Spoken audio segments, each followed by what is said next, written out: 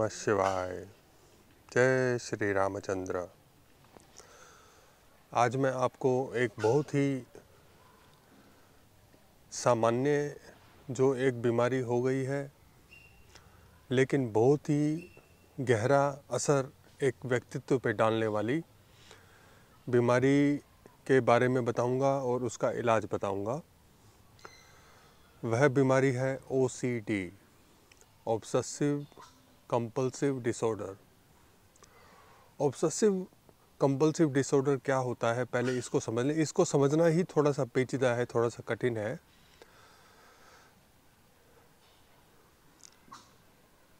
जो लोग, आपने देखा होगा, कभी ऐसे लक्षण उनमें दिखाई देता है कि चीज़ें ठीक रखने की आदत होती है उनको। जैसे चप्पल रखी है तो चप्पलें सारी वो ठीक करके रखेंगे। टूथ ब्रश है, ब्रश को भी ठीक करके रखेंगे। पलंग की चादर को बिल्कुल ठीक करके रखेंगे।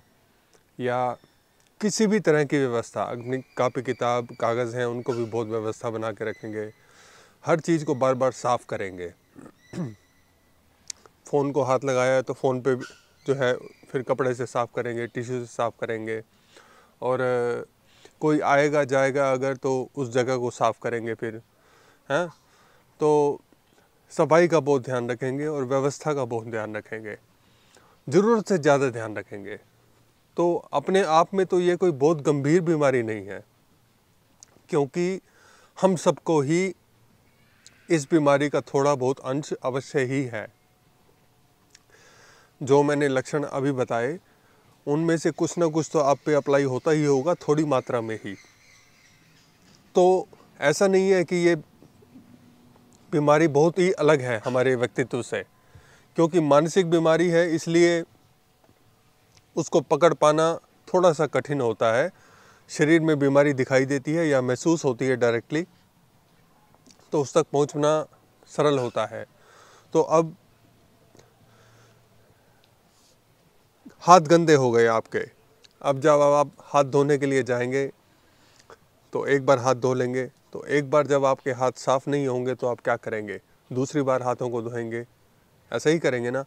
जब तक हाथ साफ़ नहीं होंगे, तब तक आप हाथ धोएँगे।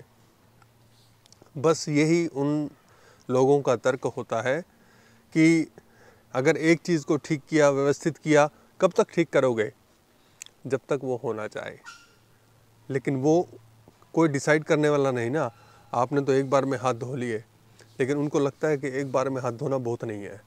दो बार, चार बार, पाँच बार पूरा साबुन ख़त्म कर देंगे हाथ धो धो के, ऐसा भी कई बार होता है, बहुत सीवियर केसेस में। लेकिन यह बीमारी क्यों ख़तरनाक है और आज मैं क्यों इसके बारे में बात कर रहा हूँ? क्योंकि कुछ और गहन, गहरी मानसिक बीमारियाँ हैं जिनको यह जन्म देती है, यह जन्मदाता है। अपने आप में तो कुछ खास करती नहीं लेकिन आगे बहुत ज़्यादा नुकसान पहुँचाने वाली बीमारियों को पैदा करती है। इसमें से एक एंजाइटी है चिंता है। चिंता हो जाती है छोटी सी बात की ही आ, कपड़े बाहर रखे हैं बारिश आ रही है अरे इस बात की ही चिंता हो गई हाँ? और ऐसी छोटी छोटी बातों की सब्ज़ी बनानी है अभी तक सब्ज़ी लेके नहीं आए सब्ज़ी वाला नहीं आया ऐसी छोटी छोटी बातों की बहुत चिंता मान लेंगे वो। पैनिक अटैक होता है एक। हम अचानक ही मानसिक रूप से एक जो है, आपको शौक लग जाएगा, आपको धक्का लग जाएगा, आप किसी गहरे विचार में पड़ जाएँगे, चीखना चिल्लाना शुरू कर देंगे, पैनिक अटैक कहते हैं, इस तरह के लक्षण हैं उसके। और डिप्रेशन में भी लोग, जो है, वो लोग जा सकते हैं अवसाद में जा सकते हैं। बहुत गहन मन में जो है, दुख बना के रख लेंगे किसी भी चीज़ का। कुछ भी नहीं है दुखी होने का कारण, लेकिन मन में बहुत गहन दुख होगा। ऐसी अवस्था आ जाती है। तो आप अपने आप के ऊपर पहले तो फिर अपने आसपास नज़र घुमाएँ तो देखते हैं हम कितने लोग ऐसे आप खोज पाते हैं। इस बीमारी का नाम है O C D short form में इसे कहते हैं। और ऑब्सेसिव कंपल्सिव डिसऑर्डर मैंने जैसे बताया आपको। अब बात करते हैं इसके इलाज की। स्वर विज्ञान में, स्वर योग की सहायता से कैसे हम इसका इलाज कर सकते हैं। भगवान शिव के द्वारा उपदेशित स्वर विज्ञान किस तरह से हमारी सहायता कर सकता है इस मानसिक रोग से बाहर आने के लिए? एक, पहली क्रिया जो आपने करनी है, चंद्र स्वर में। चंद्र स्वर आपका जागृत रहे और आपने कपाल भाती करनी है। जैसे आप देख सकते हैं, सुन सकते हैं श्वास की आवाज़ को, मेरा चंद्र स्वर अभी जागृत है। तो चंद्र स्वर के जागृत रहते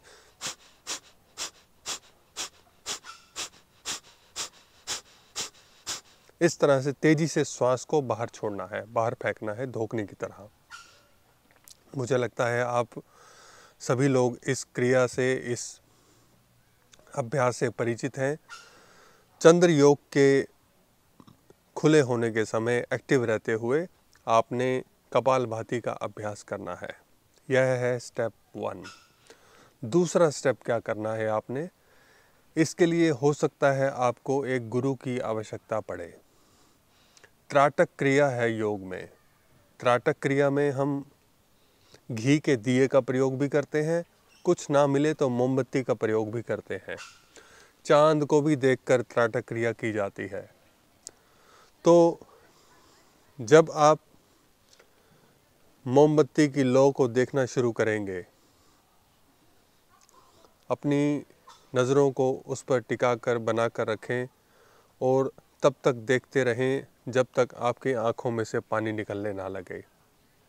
पलक आपने नहीं झपकानी है। यह निश्चित करें कि मोमबत्ती या दिया आपकी आँखों के लेवल के बराबर हो, ना नीचे हो, ना ऊपर हो। अगर नीचे होगा तो आपको नींद आएगी, अगर ऊपर होगा तो आपके सिर में दर्द होगा। तो कोशिश ये करें कि आपके आँखों के लेवल के बराबर वो जो लो है आपने देखनी है, प्रकाश की लो, उसे देखना शुरू करें। और देखते रहें, एक टक होकर एक टक होकर देखते रहें, पलक ना झपकाएँ। शुरू में थोड़ा कष्ट होगा, लेकिन थोड़े अभ्यास के बाद आप इस करने क्रिया को करने में सक्षम होंगे। जब क्रिया का अंत करें तो दोनों आँखों को बंद कर लें और अपनी श्वास पर ध्यान लगाएँ।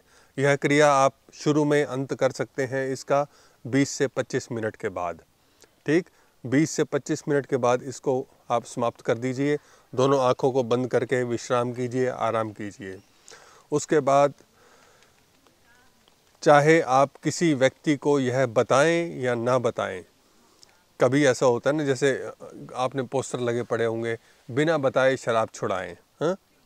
तो शराबी को बताते नहीं है कि तेरी शराब छुड़ाएँगे हम अब। तो ऐसे ही ये क्रिया है। किसी व्यक्ति को अगर है तो बिना बताए ही आप उसको करवा देंगे तो भी लाभ पूरा पूरा होगा। अगर आप समझते हैं, आपको यह अगर आप इतने बुद्धिमान हैं, इतने सजग हैं, आपको लगता है आपको यह रोग है तो आप अभ्यास करें। स्वयं इस रोग से आप बाहर आने में सक्षम हो जाएँगे। और अनेक लोगों ने प्रश्न मुझसे पूछा है कि मैं ऑनलाइन क्लासेस लेता हूँ या नहीं। मैं ऑनलाइन क्लासेस नहीं लेता हूँ। हाँ आपके प्रश्नों का उत्तर देता हूँ, जवाब देता हूँ। आप जब मेरे चैनल को ज्वाइन करेंगे तो मेरा फ़ोन नंबर आप देख सकेंगे। और मैं आपसे बात भी करता हूँ। फ़ोन पर भी और हर तरह से जैसे भी संभव हो आपकी समस्या का समाधान करने का पूरा प्रयास करता हूँ। जो लोग मुझसे जुड़े हैं वो जानते हैं। अगर पाँच या सात लोगों का एक ग्रुप होगा तो मैं ऑनलाइन क्लास भी लेने का विचार कर सकता हूँ, मैं ले सकता हूँ वो भी। तो आज के लिए इतना ही। आशा है आप ओसीडी नाम की बीमारी से बाहर आएँगे। धन्यवाद। ओम नमः शिवाय।